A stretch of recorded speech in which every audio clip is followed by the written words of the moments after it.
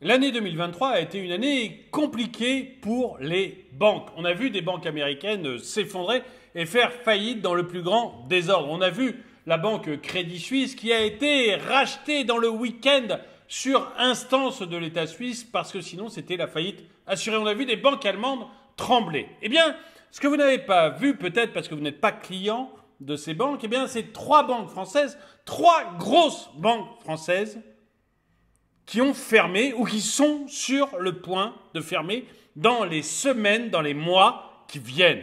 Et ça montre probablement qu'il va y avoir une restructuration, qu'il y a déjà eu une restructuration des banques au niveau européen, mais que cette restructuration va aller encore plus loin. Et on peut se demander si d'autres établissements bancaires ne vont pas être touchés au cours de l'année 2024. Bonjour et bienvenue dans cette nouvelle vidéo de DME en direct. Comme toujours, si vous n'êtes pas abonné, je vous suggère de le faire et de cliquer sur la cloche pour être prévenu lorsque je sors une nouvelle vidéo. Et pour ceux qui veulent, eh bien, il y a la boutique euh, DME. Vous allez sur la chaîne YouTube ou sur le site dromaiconie.com, onglet boutique, et vous trouvez bah, des suites comme celui-ci ou des suites et capuches. Vous avez euh, également des polos, des t-shirts, des casquettes, des magnets, des autocollants et des mugs comme euh, celui dont je me sers toujours pour voilà tout au logo de la chaîne et comme j'ai de très très bons retours, je suis très fier de mes produits. Bon, Commençons donc avec ce qui est en train de se passer en France. En France, je ne vais pas parler des faillites aux États-Unis euh, qui ont été plus ou moins bien gérées. Je ne vais pas parler des faillites euh, ou des quasi-faillites en Allemagne qui ont été bien gérées. Et je ne vais pas parler non plus de la faillite, euh, la, la, vraie faillite en Suisse, qui elle aussi a été bien gérée par l'État suisse. Je vais vous parler des restructurations qui sont en train de se faire en France, qui sont sérieuses, qui sont des vraies restructurations de très gros groupes bancaires et vous allez voir que ben, on n'est pas à l'abri d'avoir euh, d'autres choses comme ça. Et on va voir aussi ce qui arrive à ses clients, aux clients de ces groupes bancaires, quand les choses sont correctement gérées. C'est-à-dire quand on n'est pas dans la panique et qu'on arrive malgré tout à fermer ces banques de manière structurée. La scène financière française connaît un bouleversement inattendu en ce début d'année, excusez-moi, avec la fermeture imminente de trois grandes banques. Cette situation entraîne la suppression de millions de comptes bancaires, obligeant les clients à réorganiser leur situation financière. alors que l'une des banques a déjà mis la clé sous la porte le 1er janvier 2024, les deux autres suivent de près, affectant plus de 2,3 millions de personnes. Vous voyez que c'est quand même de la grosse banque. Les détenteurs de comptes courants, d'épargne et de crédit à la consommation se retrouvent tous impactés par cette restructuration. L'annonce de la fermeture de HSBC France, la première à attirer sa révérence, a laissé environ 800 000 Français détenteurs de cartes bancaires de ce groupe dans l'incertitude. La deuxième banque à subir les conséquences de la crise financière de 2023 est Orange Bank, une banque en ligne appartenant à l'opérateur téléphonique bien connu. Avec ses 800 000 utilisateurs, donc, vous voyez, c'est pas petit, 800 000 personnes, c'est beaucoup quand même. Orange Bank fermera ses portes prochainement, obligeant ses clients à prendre des mesures pour assurer la continuité de leur service bancaire.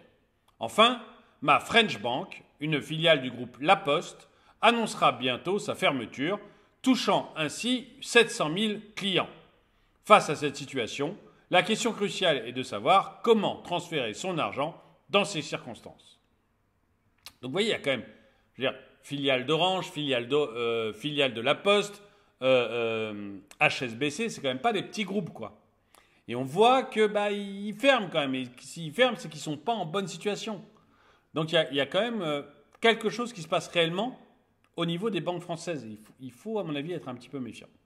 J'en ai parlé dans une vidéo sur Droma Economy vendredi soir, sur ma chaîne principale.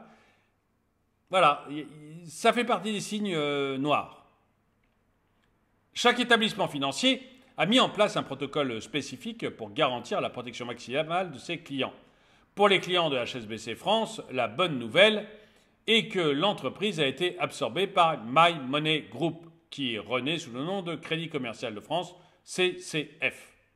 Cependant, ce rachat n'est pas sans conséquence pour les clients, qui recevront un nouveau numéro de compte, un nouveau RIB et un nouvel IBAN, et de nouveaux identifiants pour accéder à leur espace client en ligne. Bien que, moi aussi, 2023, je rappelle, ING, je crois que c'était 2023 ou 2022. Je ne me rappelle plus. En 2023, non, c'était peut-être 2022 où ING est euh, passé chez Boursorama, a été euh, même chose, fermé et est passé chez Boursorama. Bien que le processus puisse sembler fastidieux, il est essentiel pour assurer la continuité des opérations bancaires. En ce qui concerne Orange Bank, les clients doivent se préparer à des négociations en cours avec la BNP Paribas pour transférer l'ensemble de leurs produits bancaires vers Hello Bank, la banque en ligne du groupe. Toutefois, il est crucial de noter que le transfert ne sera pas automatique.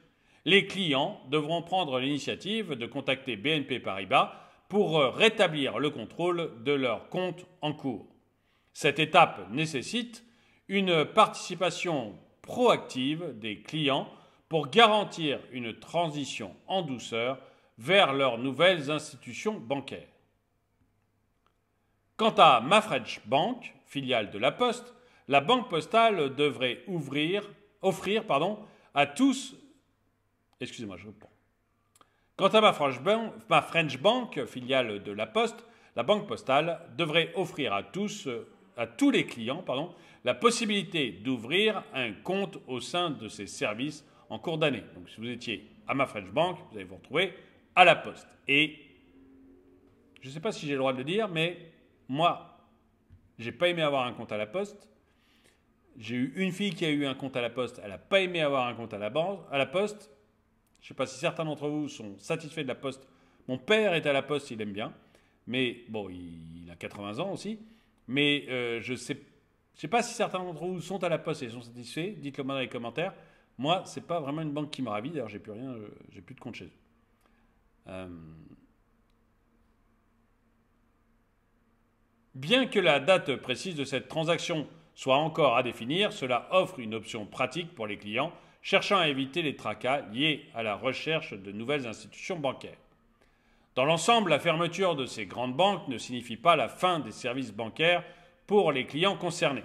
Il est impératif de suivre les procédures mise en place par chaque institution pour garantir la transition sans heurts. Les changements tels que l'obtention de nouveaux numéros de compte et d'identifiants peuvent sembler contraignants, mais ils sont essentiels pour assurer la sécurité et la continuité des opérations financières. En outre, les autorités financières et les institutions bancaires impliquées devraient fournir des informations détaillées et des conseils aux clients pour faciliter ce processus de transition. La transparence dans la communication est cruciale pour apaiser les inquiétudes des clients et renforcer la confiance dans le système financier. Dans l'ensemble, la fermeture de ces banques majeures ne doit pas être perçue comme une catastrophe, mais plutôt comme une opportunité de réévaluer et de renforcer le système bancaire dans son ensemble. Et c'est ça, c'est-à-dire que quand c'est bien géré comme ça, aux États-Unis, ou même le Crédit Suisse d'ailleurs, vous avez eu des faillites retentissantes où c'est très mal géré. Et là, c'est l'enfer. Si demain votre banque vous dit qu'elle ferme et point, c'est l'enfer. Quand c'est bien géré, quand on arrive à bien le maîtriser, ça va. Et j'espère qu'on va rester sur des banques qui savent bien maîtriser ce genre de choses. Et effectivement, dans ce cas, ça renforce le système bancaire dans son ensemble. Les clients peuvent tirer des leçons de cette expérience en veillant à diversifier leurs avoirs et à choisir des institutions financières solides et stables. C'était mon conseil dans la vidéo de vendredi euh, sur Droma Economy. Je vous mets un lien dans la description quelque part, mais, euh, ou peut-être dans, l'image là. Mais euh, quoi qu'il en soit, ayez plusieurs comptes bancaires. Ayez plusieurs comptes bancaires. Cette situation souligne également l'importance pour les gouvernants et les régulateurs de mettre en place des mesures efficaces pour prévenir de telles crises et garantir la stabilité du secteur financier. En conclusion, le paysage bancaire français traverse actuellement une période de transition significative avec la fermeture de trois grandes banques. Cependant, les clients ont la possibilité de minimiser les perturbations en suivant les protocoles établis par chaque institution et en restant informés tout au long du processus. Cette expérience souligne également l'importance de la résilience du système financier et de la nécessité pour les consommateurs d'adopter une approche proactive dans la gestion de leurs finances. Eh bien, dites-moi ce que vous en pensez. Est-ce que vous pensez que, bon, voilà, là, il y a pas, une affaire, ça, ça va bien se passer Ou est-ce que vous pensez que c'est des signes noirs et qu'on risque de demain d'avoir des banques qui font faillite beaucoup plus vite et de manière beaucoup plus désagréable que c'est le cas là? Et vous-même, si vous êtes dans une de ces banques, bah, dites-moi comment vous vivez les choses. Est-ce que ça se passe bien, comme ils le promettent?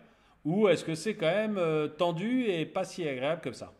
Dites-moi ce que vous en pensez dans les commentaires. En tout cas, merci d'avoir regardé cette vidéo. Mettez-lui un pouce vers le haut, commentez-la, partagez-la. Merci à tous ceux qui soutiennent la chaîne. Et moi, je vous dis à très bientôt.